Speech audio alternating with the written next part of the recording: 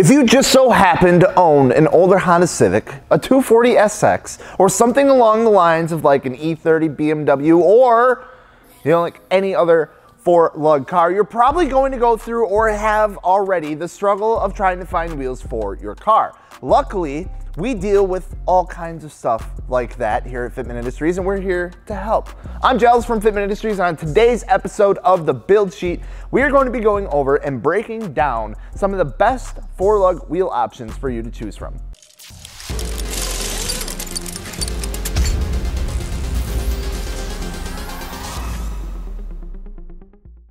Before we go ahead and get into it, don't forget to subscribe. And if you're looking for new wheels or tires or suspension, or all three. For your car, don't forget to check out fitmentindustries.com. And while you're over there, don't forget we got the giveaway going on with Kansei Wheels for the month of January. Time is running out. The shirts are going quick. Once they're gone, they're gone. Pick up a shirt, get automatically entered and win free set Kansei wheels. It's great. So when it comes down to four lug wheel options, they can become a little bit tricky to track down, especially when it comes to size and more importantly, bolt pattern. Simply because there are not a lot of cars out there with four lug hubs anymore. Either they've been converted to a five lug setup or simply just been taken over by the influx of newer cars hitting the market, which of course have five lugs. And unfortunately, this doesn't make it the easiest of time when it comes down to finding a new set of wheels for your car. So what we're gonna do is we're gonna break down some of your best options for four lug wheels from what we see currently available out on the market right now and put them into some price categories ranging from low or entry level to intermediate all the way up to high. So with that being said, let's go over some entry level wheels that are going to have a price range of roughly around $350 to $500 for a set of four. And I know that sounds pretty crazy. However, wheels with a four lug bolt pattern are typically only like 15 or 14 or 16 inches in diameter. So Starting off, Konig comes in pretty strong with the entry level category, but still hits it right on the head as far as looks and performance with models like the Illusion and the Knockout. Mostly hitting that 4x100 market, Konig does offer 4x108 and 4x114. But unfortunately, I'm sorry to say guys, or the 4x110 guys, they're not going to be for you as Konig does not currently offer any 4x110 wheels in their lineups. We also see another brand with a strong presence in this category and that is MST Wheels, offering more of an old school styling with a models such as the MT11, MT13, and their Time Attack. You can find yourself picking up a brand new set of MSTs for right around $400, depending on the size and the color and the offset and all that kind of stuff. Again, hitting mostly that 4x100 and 4x114 and touching a little bit into that 4x108 bolt pattern with a few sizes and a couple different models. We still can't seem to find something that'll hit that 4x110 crowd. I'm sorry. Getting a little higher into that $400 mark, we start seeing F1R starting to come into play. Now, F1R offers a good variety of sizes and finishes for their wheels, the models like the F05, the F07, and the F01 being some of their more popular models in this bolt pattern and size.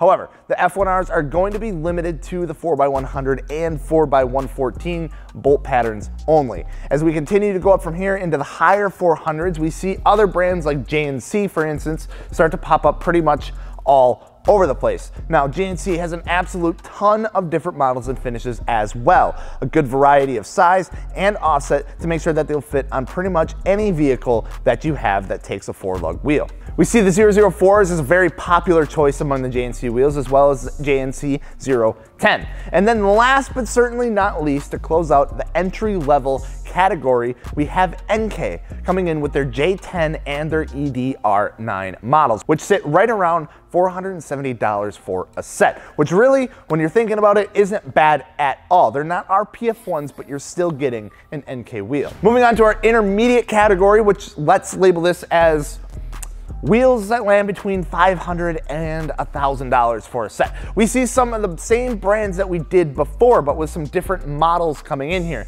Konig, again, for instance, reaching into that $600 range with wheels such as the Decagram and the Freeform, and even that Hypergram when you get up into that around that $800 mark. Now, you may be asking why, why are these ones more expensive? And the answer is simply because they are a flow form wheel, so straying away from your traditional cast wheel and adding a little bit more technology into the manufacturing process to give you a better strength to weight ratio. Another brand that comes into the mix here is another one that you've probably heard of, which is Klutch. Another wheel company offering some old school designs with a decent amount of finishes and sizes. Models like the SL1, the SL2, and more of like a crazy or turbofan-esque kind of style, the KM16. And then, of course, topping off this category, we see Enkei coming in strong with, yes, the RPF1, offering a vast amount of sizes and offsets to make sure every Miata owner on the road is as happy as their car. Not much to say about the RPF1, you know, it's a very light, good looking wheel that will never really let you down. And depending on the size, you can snag some brand new ones for a little over $800 a set. And I'm gonna just break my own rules here and stretch that $1,000 cap just a little tad bit so we can talk about a couple other ones that really should fall into this list. And that would be some rotiform and 1552 options.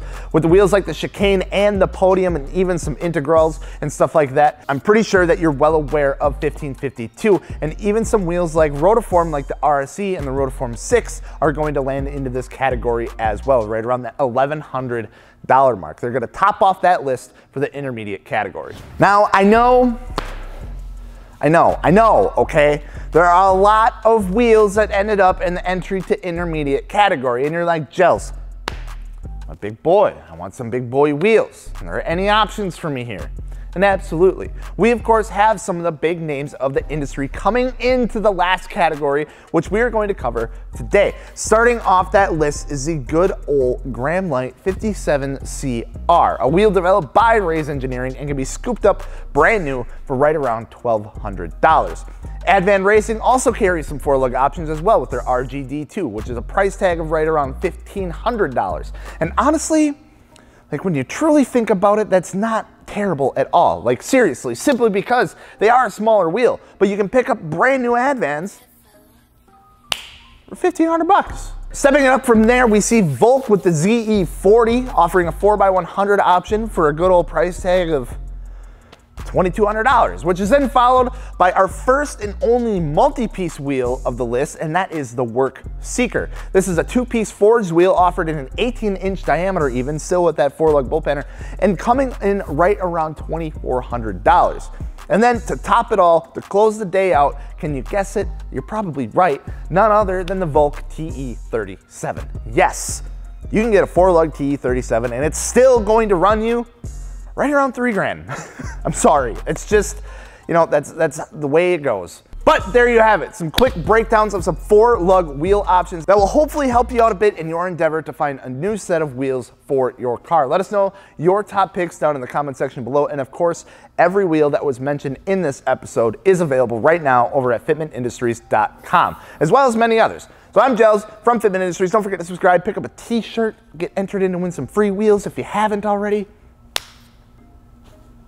We'll see you later. Peace.